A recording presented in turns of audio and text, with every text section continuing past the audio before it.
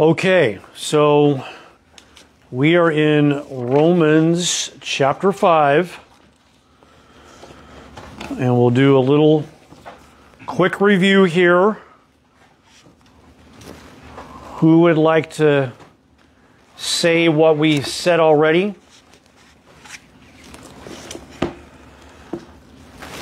Anything from the last time? Story of two men. Yes, the story of two men. Yes. Adam, yeah, and the last Adam. First Corinthians 15 brings that out. And you can go back and look at that. death. Sin and death, right? Okay. And uh, it was a physical death, right? I mean, here it is speaking, that's why people, they died. That's why people die because of sin, physically, because sin is in the body. Anyway, I mean to go ahead. Yeah, and by Yeah. the second Adam, we were reconciled unto God. Yeah. In the second Adam, we have life, eternal life, to the second Adam. So the first Adam, there was there was death, a physical death, um, spiritual death, and could be ultimately eternal. Um, and God doesn't send anyone to hell, but everyone in the in any way at all, then we could not enter into heaven where God is holy and perfect. Uh, and that's the big misconception in the world is that people think, well, it's okay to sin a little bit, and as long as I, as long as I'm better, as long as my actions are better than my sins, then God will accept me because the my actions will outweigh my sins, and God will look at that I'm pretty good. I'm a pretty good person generally, so God will accept me into heaven. Right? That's that's the the idea of the world. Sin entered into the world. And then we said that word sin there is the word is eiserchomai. It means like it went into the world. Like this, it was introduced to the world. Sin. Before before that there was no sin. Just make sure I didn't step on them. Before that there was no sin in the world, right? So it like this was the entrance into the world because of what this one man. Um, and it says sin entered into the world and death by sin. It passed through the human race. It went throughout all of the human race. Everyone who was born of the seed of, the seed of Adam, which is every human being on the earth, that we all came from Adam's seed. That everyone who was born, this death, the sin nature passed through unto us. So it came from Adam to his son, to his son, to his son, all the way to your grandfather, your father, and then into you and me. Uh, and so, and then it says in verse 13, for until the law, sin was in the world. But sin is not imputed when there is no law. And this is this is interesting here because this word imputed, the word is ellogeo. It's not logizomai. So, which is interesting, but it has a lot of the same types of thinking here because logizomai means to reason or to reckon. Logizomai means to like to charge to someone's account. And I think that Paul used it in Philemon chapter 1. He said that they would charge that to my account. So there was the only other place in the Bible where this Greek word is used. Um, so, but sin is not imputed when there is no law. But but what there because the seven dispensations there was innocence and then there was consciousness before the law. So there was a consciousness of sin. And yes, we know that in the Old Testament, Cain was held accountable for his sins. And so were many others because man realized that he needed a savior. So man realizes he needs a savior. And that's why 14. Nevertheless, death reigned. The word here is basileuo, like the word basilica. It means to reign like as a king. There was no escaping death. There was there was no one who escaped death except for maybe Enoch, possibly, and Elijah, right? So they maybe the only two that like Enoch walked with God and he was no more, for God took him. But yet death maybe the only way that we could escape it is maybe if the rapture happens because Enoch was in a way he was raptured. Wasn't he? He was snatched off the earth. Yeah. So Enoch, if you know, if we're alive, whenever the rapture happens, if we're still living at that time, Um, and- but yeah, but yes, but but it says nevertheless, death reigned like as a king from Adam to Moses. So it's the Mosaic law. What do we mean by the Mosaic law? What's that? Yeah, Moses. Yeah, like the, it was the law of Moses, right? The the the um, like the Ten Commandments, the six hundred and thirteen commandments in the Book of Leviticus. All of these commandments, which were too much, no one could live up to them all. How many a day? You know, pick up, don't pick up sticks on the Sabbath. Uh, you can't go anywhere. You have to rest on the seventh day. I mean, totally. You have to. If your if your children were disobedient, you were to stone them to death. You know, it was it was pretty strict. Was that passed from God to them, Moses, to write those stuff? To write those Okay, okay. Any let's let's but like questions and stuff. Let's let's just hold on until like the end. Yeah, just write down the questions because I'd have to think about what it is you're saying. So yeah, but questions. Hold off all questions till the end. Okay, that's why we'll have the wrap time. Uh, I mean, there's good questions, um, but we don't want to deviate from what we're talking about here. So, nevertheless, death reigned from Adam to Moses, even over the, them that had not sinned after the similitude of Adam's transgression who is the figure of him which was to come. So in other words, they didn't sin like Adam. They didn't what? You didn't eat off the tree of the knowledge of good and evil. But this one sin, actually, it was like it was like a, a match that burns down a whole forest fire, or that burns down a whole forest. You know, like like this one. It,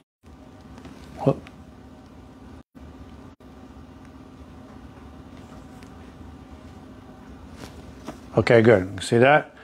The word offense is para. Patoma. Parapatoma. Okay? And parapatoma means to to fall alongside.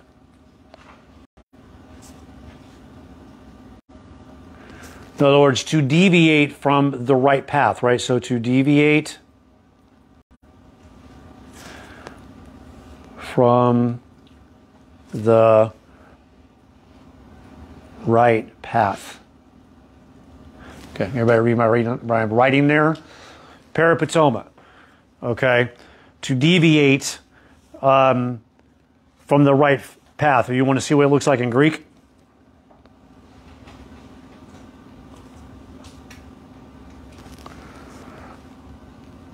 Are you in verse 14, Uh, 15. 15? Sorry. Um,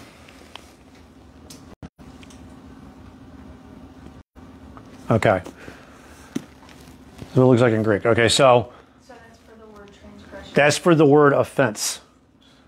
We're, we're in 15. We went and went to 15. I don't have that word. What does yours say? Transgression. Words. Let's see.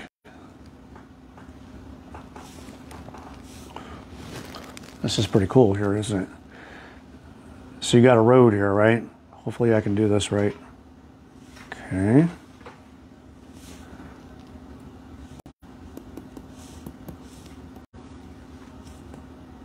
Okay. There's the road.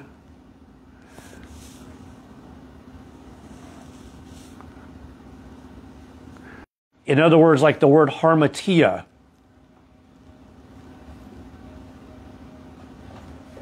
It means what? To miss the mark. So this word is related to this. In other words, parapatoma. Like in other words, to deviate from the like, it's not so bad. Now, like like what is what does it mean miss the mark? So you here you have a target, right? And there's the bullseye right there. But you shoot over here. It's a pretty good shot from a long ways, but it's not perfect. And that's what this means, parapatoma. That like, in other words, all have sinned and have fallen short of the charisma.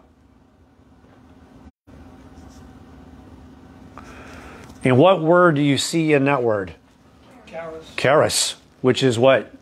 Grace. Grace. So charis, so you have the word ma here, Results of? the results of grace. This means the results of grace. So the results of grace, the free gift. So in other words, the it says that that what that God gives the gift. What is the gift? The gift of eternal life. The free gift. And what is saying here that let's read on here, but not as the offense. It means the one, the one. There was only the one man, the one man Adam sinned. The one man Adam that he uh, that he transgressed, as yours says, the, the offense that he deviated from the path. What? All he did was eat a little fruit off the tree. That didn't seem so bad, right? It was like he didn't like, you, but but because of this disobedience of this one man, that many became, that the world became sinners because of him. But then there was an obedient, there was the obedience of another man, and that was the man Jesus. And because of his obedience, now we receive righteousness. And then it says here, let's let, us let us read on what it says here that that that of the offense of the one many be dead, much more. Now this word much more appears several times in this passage here. Several times. Like if we go on down, it says, Moreover, the law entered that the offense might abound. But where sin abounded, grace did much more abound. So let's. So, in other words, it's kind of like this. Here's like a scale, right? See if I can draw one. Okay, so over here, you got sin. But it says that much more the we can say what is the grace of God and what is the gift by grace. The grace of God has to do with who God is, and the gift by grace has to do with what God does. Who God is and what God does. In other words, like we know the character and nature of God, that God is love that, that his, his love is everlasting. It's an everlasting love. And that, that he, but what he loved us, we, we read it, that while we were still sinners, while we were, we were his enemies, Bible says that while that we were ungodly, that Christ died for us. And so, um, and so this is the character and nature of God. And so the character and nature of God would be that God gave his only begotten son. Because see, there is, the free gift, by the way, it wasn't free. It cost God something, didn't it? It cost God, for God so loved the world that he gave his only begotten son in John 3:16. And that and so and we were his we are his purchased possession. We have been purchased, we've been bought with a price. That he purchased the church with his own blood in Acts 20, 28. So there was a price that was paid. And it was a hefty price that, that God had paid, that God paid for us. And so when we realize like what God, who God is and what God has done for us, then we understand like doctrines like eternal. When we look at this here, it says much more the grace of God and the gift by grace, which is by one man, it's the one man, Jesus Christ, has abounded. So, in other words, this offense right here, this sin, the offense, the parapatoma, which is right here, para patoma, it would become really big. That's why the law entered in. The word the law, the law entered this par, pareiserchomai there. It means it came in alongside of sin, the law. Even in, in Romans 7, is it 7 17, that every mouth would be stopped? Let's see here. Oh, no, no, it was given so that to make sin that it would appear sin and it would become exceedingly sinful. Where's that at? It says so it was that was the purpose of it, that it would appear sin, that it would make sin exceedingly sinful. This was the purpose of it, so that the law entered that the offense might abound. But then this gift right here, this gift right here would super abound now. Way more. So if we look here, the scale now is like this. God's grace. Yep, God's the free gift, which is by grace. more. Does this help? This was much more. It was it was much more. It was it wasn't just that it equaled it. It was much more. It was much more. And that's why it says that the law entered that sin might abound, but where sin abounded, grace did much more abound. So when we grab a hold of this and understand it, it it's we, we grab a hold of a great truth here. One sin would separate us from God forever. One sin, one, one, one thought, one sin would separate because if there's any unrighteousness, uh, we could never stand before the presence of God. And that's why the law entered in so that I would realize, so we would realize that we need a Savior. We would realize that we would need Jesus, who was the perfect one, and that his free gift would far outweigh all of our sins. It's amazing when we think about it. And then, and it says in verse 16, and not only as it was by one that sinned, so is the gift for the judgment was one was by one to condemnation. That what does the Bible say? That why are people condemned? Because they do bad things? Because of what? Because they don't believe. Because they don't believe. If we turn to John chapter 3,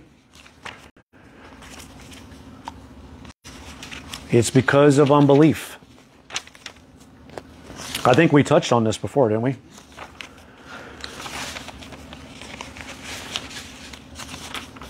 John 3. It says, okay, so to believe. For God so loved the world that he gave his only begotten Son, that whosoever believes in him should not perish, but have everlasting life.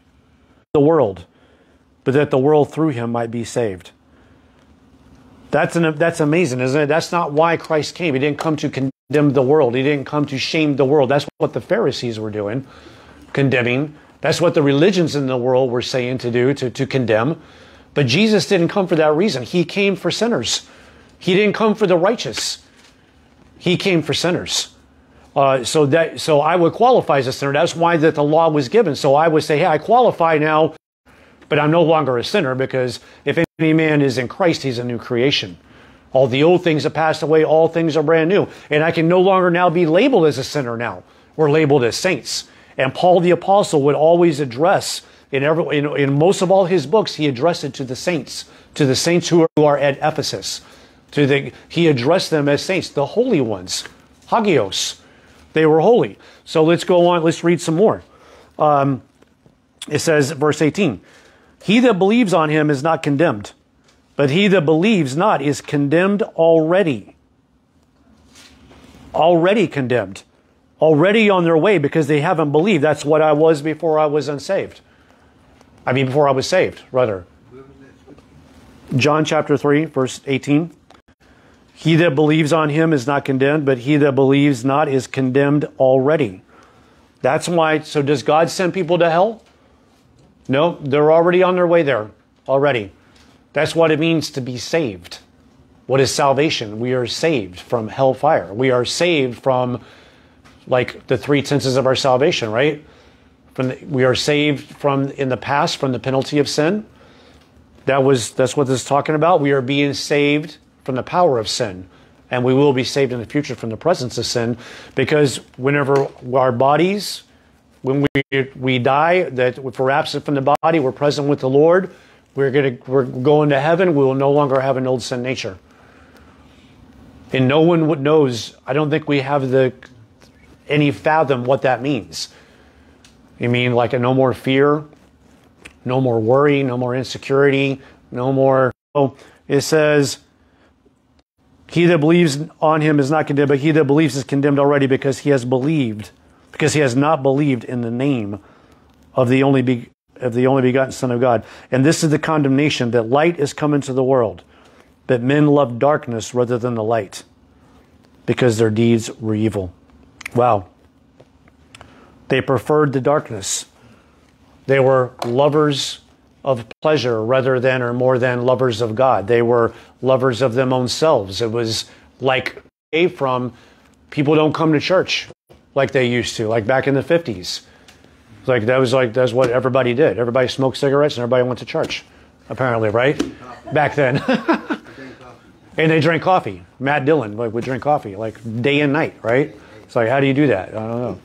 But anyway, not as it was that one that sinned, so is the gift. For the judgment was by one to condemnation, but the free gift is of many offenses unto justification. In other words, like the sins of the whole world.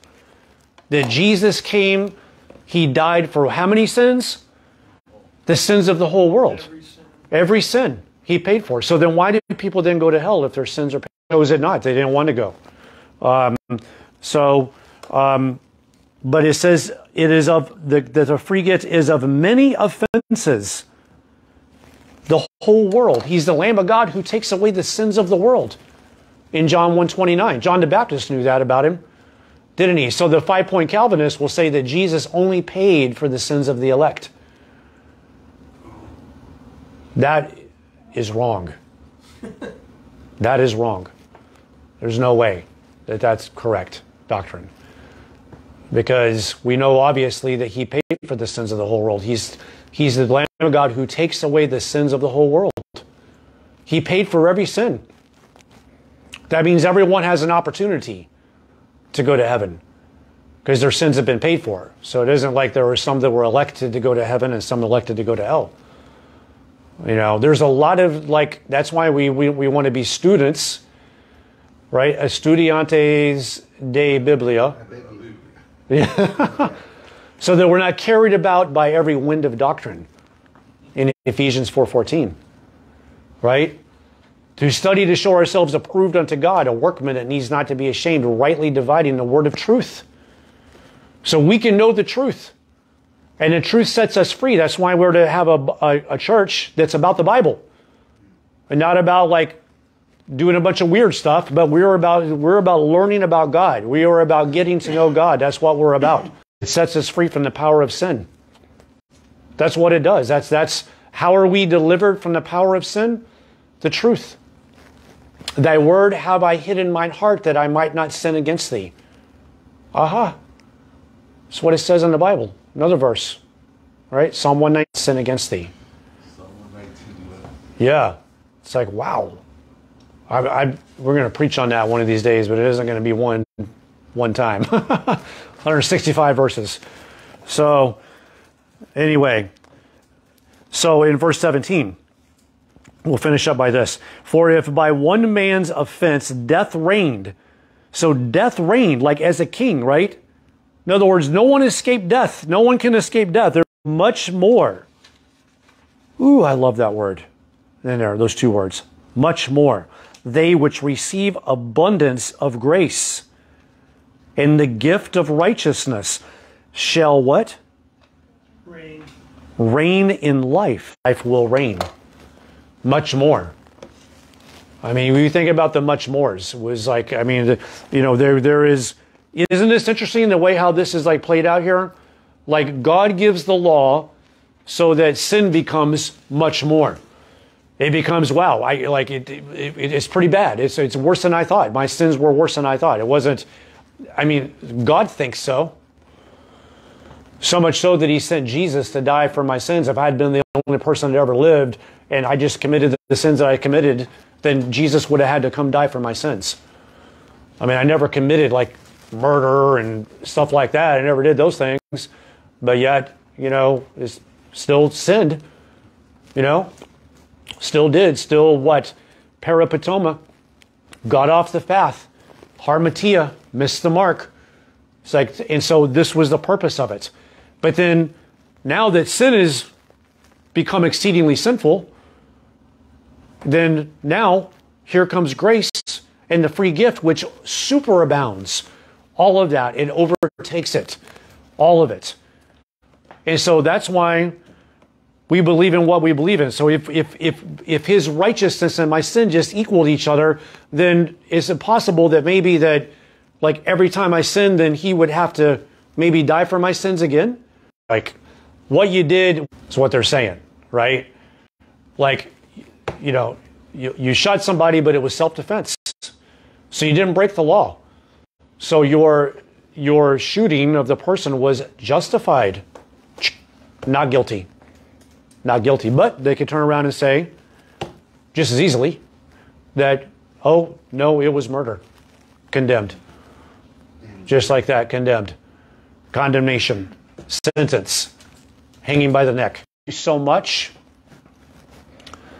We thank you that your grace, your gift superabounded way more than any of our sins, that God, super grace, eternal life, the free gift, the charisma.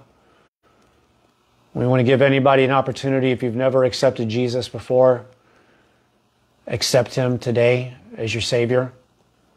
He loves you. He paid for every one of your sins. And yes, you are a sinner. And you need Jesus.